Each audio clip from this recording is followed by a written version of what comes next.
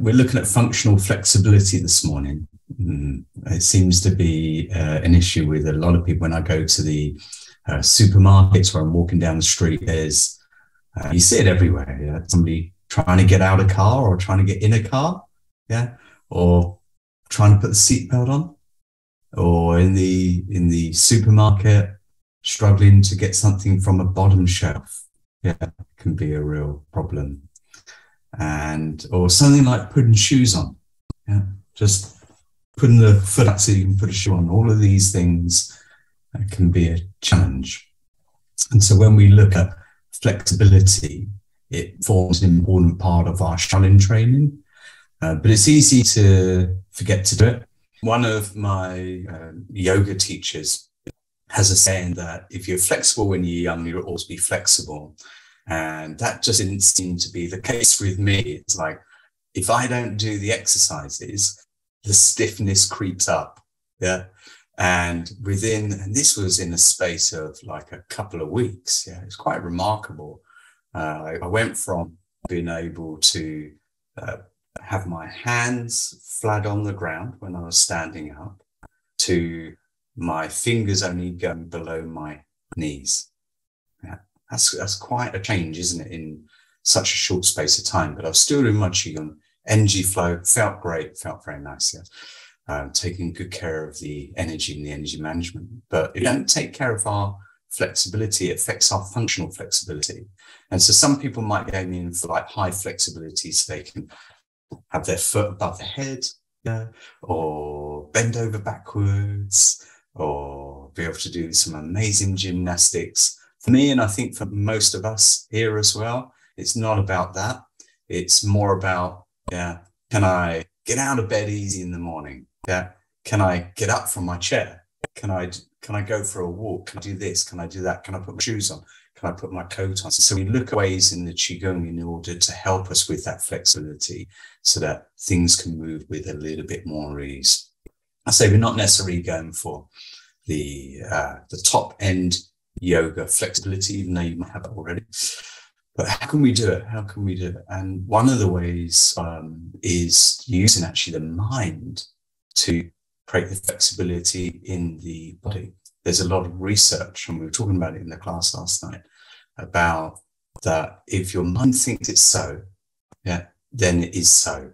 Now, somebody say, well, that's not true because if I can't walk and I just think I can walk, then I still can't walk. Yeah. So it's not quite as simple as that. But what it does mean is there's a lot of research in and around when you visualize something happening, your body organizes itself in such a way that your muscles respond to that vision, vision yeah, that intention, that you could say demand. It could be at an unconscious level as well. So I don't know if, if you've ever come across uh, like uh, uh, this. I'm not going to hypnotize you, by the way. One person, open your mic, yeah, and then visualize where you feel this is going to move to. To move to the right. You're right.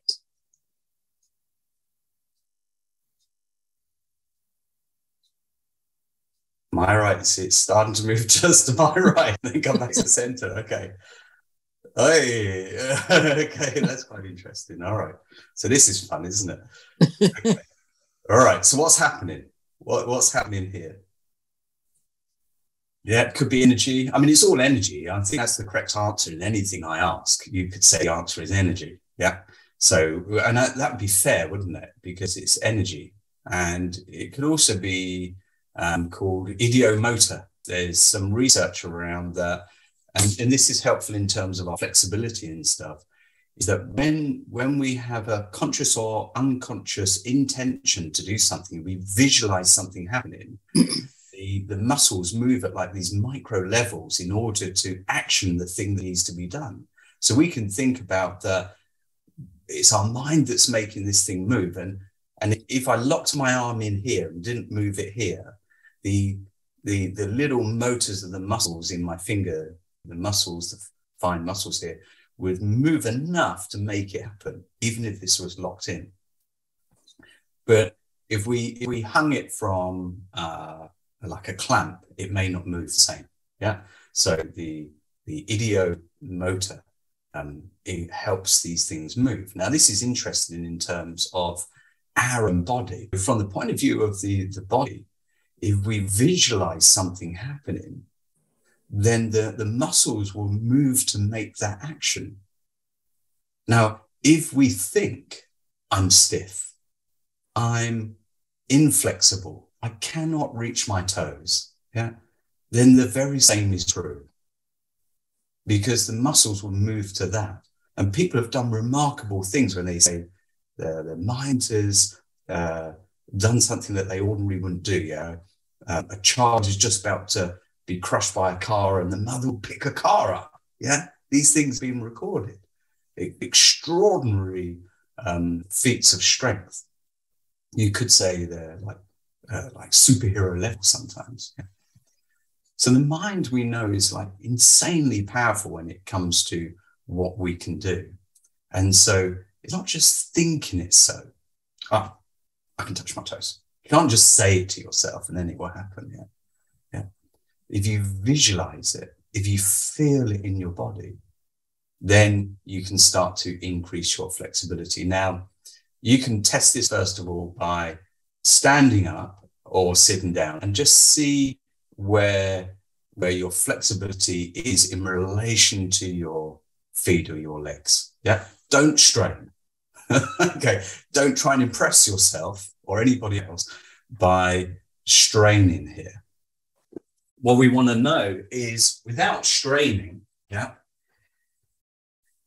where can where can we go to at the moment? So at the moment, where is comfortable for me is fingertips to toes. That's comfortable without me straining.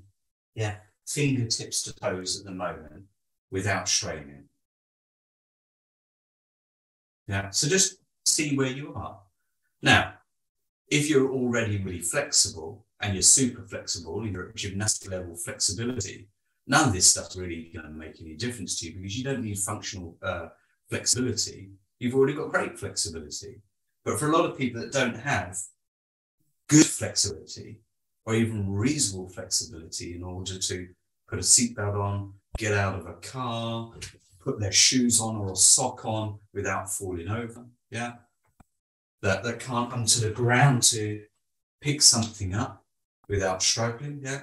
Then these are the functional flexibility things that I'm talking about. Yeah. Being able to reach, pick up, bend forwards. Yeah sit down into a chair and get up, or even squat to the floor and come back up. Yeah. you No, squat to the floor can be a lot hard for people, and people say, why do I really need that? Well, the squats as exercise actually help you in a lot of other things as well. Okay, so you know where you are. So now let's use what we were speaking about as a way to increase the flexibility. So we're going to come into an upright and relaxed position, whether or not you're sitting or standing. This can be done both ways. And you close your eyes and have the mouth open. And first of all, just allow your body to relax. That's right. Relax, relax, relax. Allow the muscle to relax.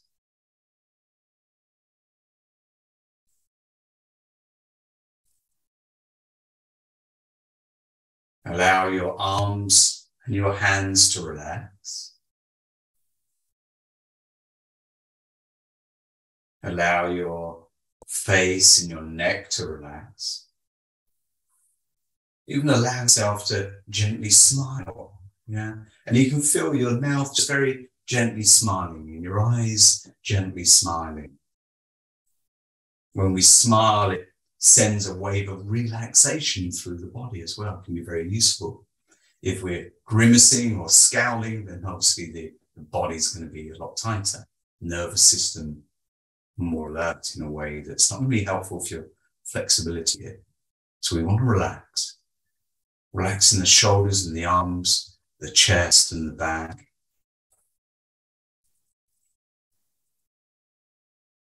and allow the muscles to relax as deeply as they can. So we're going to use two things here, relaxation and visualization. And then we can add a third component.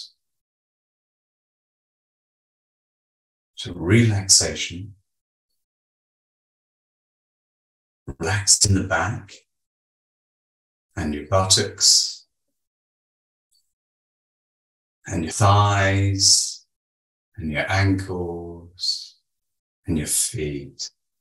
So you're relaxing everywhere in your body. So the, so the first test that we're going to do is just see in terms of relaxation, how relaxation helps us in terms of flexibility. Okay.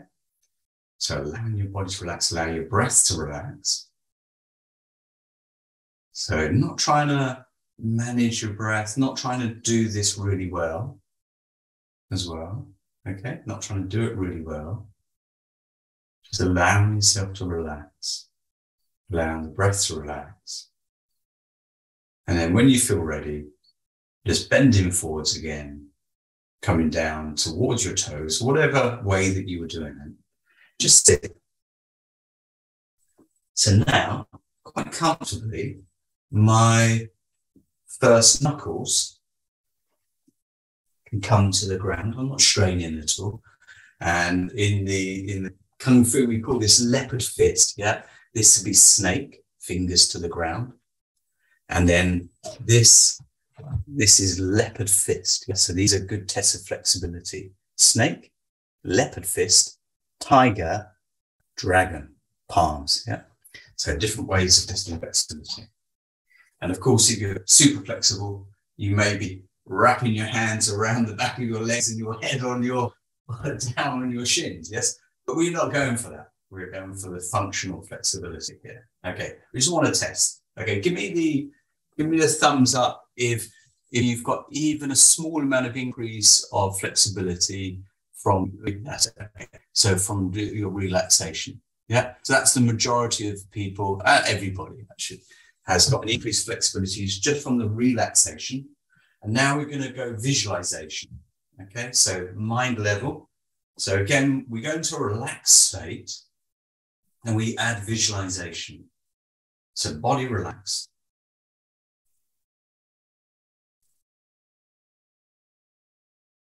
You can allow the wave of relaxation to pass through your body again several times if you like. So you feel the body deeply relaxed or as relaxed as you could reasonably go right now. Simply by having the intention to relax. And we have the awareness of relaxation as well, rather than the mind being pulled away, busy into daily tasks we allow our awareness to come to the sensation of the body, not competing with ourselves, not try and do this really well, simply allowing yourself to relax. As you breathe out, feeling a wave of relaxation pass down from the head to the feet, to the tips of your fingers. Do this a few times.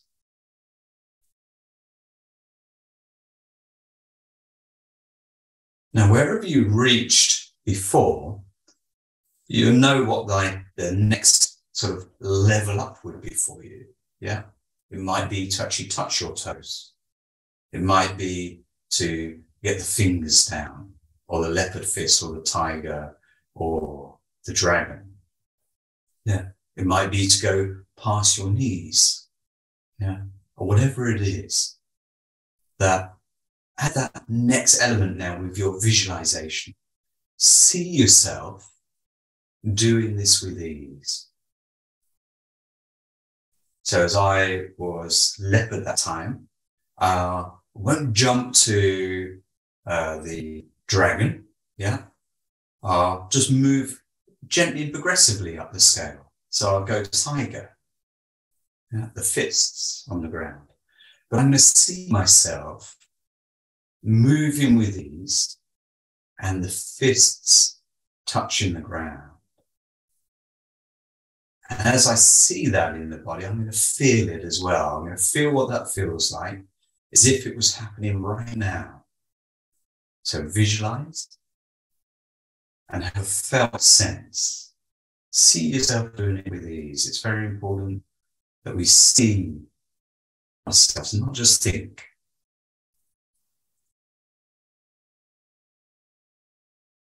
When we feel this whole body. And we can see with a mind's eye or your imagination.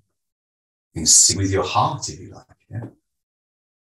You can see with your whole body. But just feel yourself doing that. Feel it feels like to flow and move with ease, with ease. Whatever you're going for now.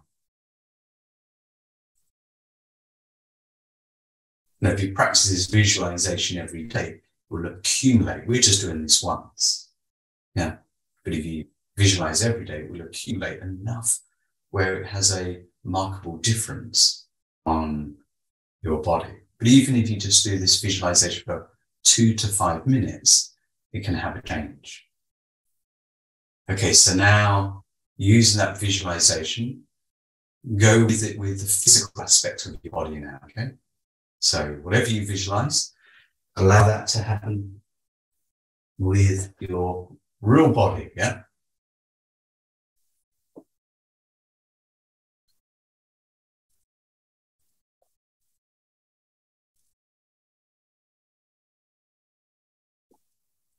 So now my fists are touching my feet with ease. That's what I went for. So we're going to come back up now. We're going to add one more element, which is like the, the secret element of the, of the Qigong, of the Shaolin Cosmos Qigong, and that's the energy flow. So we use relaxation, visualization, and energy flow. Yeah. And that's the triple cultivation. We've got the body, body relaxation, mind, the Shen, and the energy, the Qi. So we use the, the three components of the, the Qigong. So we relax, breathe, let a wave of relaxation pass through the body. So my next step up will be the palms touching the ground, the dragon.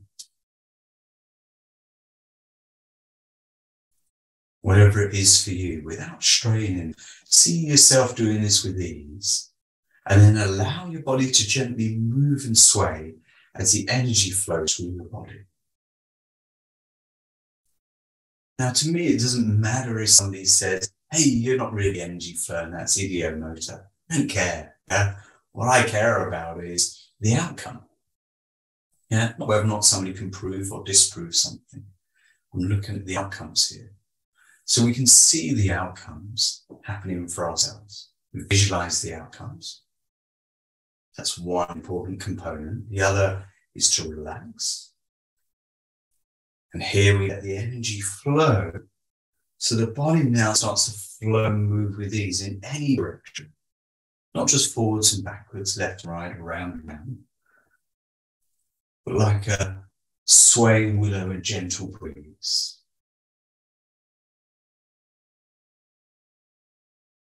And then you feel that energy flowing up your back and over the top. Feel that energy flowing up your back, over the top of the body, down the front of the body. Like a wave of energy coming up the back, down the front, all the way down. From the back of your heels all the way up to the head, all the way down the front of the body to the toes. Yeah. Just feel this wave of energy now flowing through the body.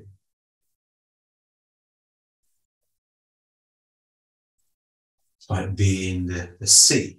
Yeah, this wave, the energy of the waves just accumulates and another wave comes. One wave after the other. And in this wave, see yourself moving into that ease of flexibility. And in a moment, you're going to allow your body to move into that. Whatever it is that you're visualizing, you're going to allow your body to move into that for real. Yeah. So you don't stop the energy flow, you just continue and you let the energy flow. So now do it for real, allow the energy to flow.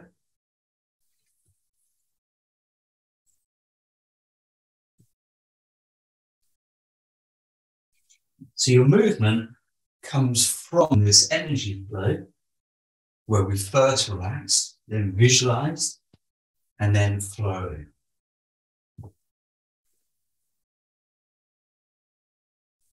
Good. And then come back up. Let your chi flow for a little bit again. Yeah, you can let go of any visualization now. You can let your chi flow. Let the body gently move and flow.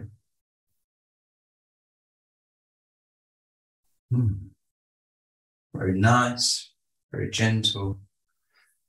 So not only does it increase our flexibility, but it can help change our state of relaxation. Remember, we were not straining at all, not competing, just allowing. But we're only doing this once. If you if you did this more often like this, then it has that cumulative effect. So come to stillness now. Gently think of the belly, breathing into the belly. Breathing out. Allowing yourself to relax. Just come into stillness. Few gentle breaths, three gentle breaths. All it takes to return to your center. And rub your palms together. Open your eyes, massage around the face and the head. Good, have a little move around. So we've got relaxation, visualization, and energy flow. Now, relaxation on its own uh, definitely has an impact. Visualization, uh, as a lot of research has shown, can have a remarkable effect on the muscles and not just on the flexibility, but the strength of your muscles as well. Arnold Schwarzenegger used to um, imagine as he was doing his bicep curls, he would imagine his bicep growing. yeah. And then much later on, when they sort of researched these things, they've shown that the muscle size can increase simply by visualizing. So we can get stronger by visualizing. We get more flexible by visualizing. Yeah? So Sifu would say that mind is the most important aspect because the Shaolin Cosmos Qigong is mind energy training and different to gentle physical exercise. So gentle physical exercise has its benefits. And we know that when we relax the body, it has an immediate effect on the body. Yeah. So it works. Gentle physical exercise works to exactly what it's supposed to do. But when we look at the triple cultivation, when we look at training the mind, the energy, and the body, we need to use all those three elements. Yeah. Not just body relaxation. Yeah. So you relax your body, you visualize, and already you're going to be increasing your strength or flexibility. And then you add the energy component as well.